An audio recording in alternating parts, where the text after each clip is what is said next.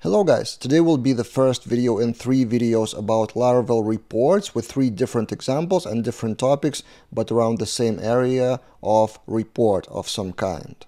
In this first video of this mini-series, I want to talk about Laravel Excel. So for example, you have some kind of table which performs eloquent query or query builder query from the database, and then you need to export that to Excel or to CSV or PDF or whatever.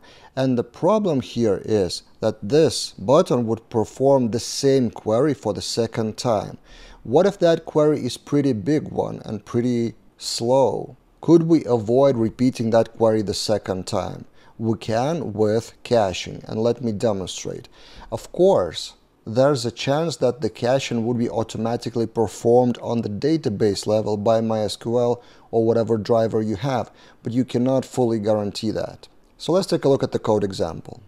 So imagine have a report controller with invoke or export method, whatever you call that, which gets the data via employee reports service, some kind of external service. It may be actually outside of service, it doesn't really matter that much. That method is just for performing the database query with some parameters.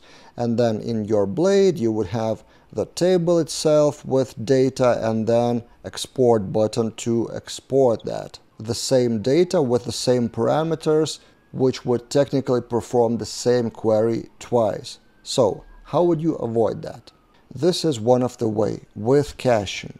So you get the service result and you cache it for whatever amount of time you want. This is an example to cache the data for one hour, for example, but you can customize it to your needs and you assign the result to some kind of cache key which identifies, which uniquely identifies the specific case. So your parameters, for example, of employee IDs, start date and end date should be the parameters in the name of your caching key. So in this case, the key of the cache is report name and all those three parameters imploded with PHP function. So you just save the result in that cache and then you provide that cache as a parameter to that blade, which in turn passes that cache key to the export of Excel. You may use various packages for that Excel that doesn't really matter that much. In this case, I'm using Laravel Excel, the most probably the most popular package, but it doesn't matter that much. What matters is that it takes the data from cache. So we check if the cache is present. If not, then not found. We're basically making an assumption that the client performed the query visually on the page before exporting that to Excel. And then we pass that cache key as a parameter to the export file of that Laravel Excel and in that export file we get the data as a collection from cache. So that Excel class doesn't really perform any database query here. It just maps the result to the Excel columns and adds some headings and maybe some more visual things, but doesn't work with data because data comes from cache.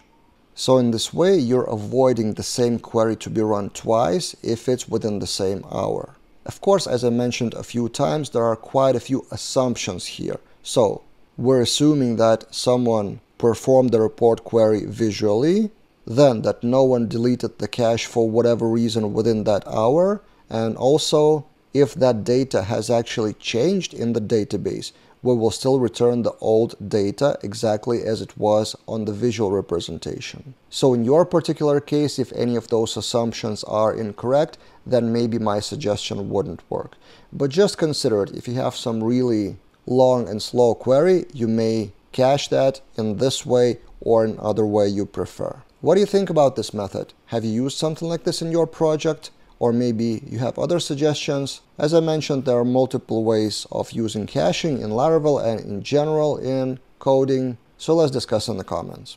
Finally, I want to remind you of a thing that I rarely mention in this YouTube channel videos, that I have a newsletter, weekly newsletter every Thursday, especially for those who are following me on Twitter, but with Twitter changing their APIs almost daily, not sure what may happen with Twitter in weeks or months, so email newsletter is the best way for you to find out all the Laravel news and things I publish. This is a list of previous newsletter issues that I had sent every week as you can see, and I will link that in the description below and you can click join mailing list and join at this point 7,000 subscribers to get my tutorials every Thursday. That's it for this time and see you guys in other videos.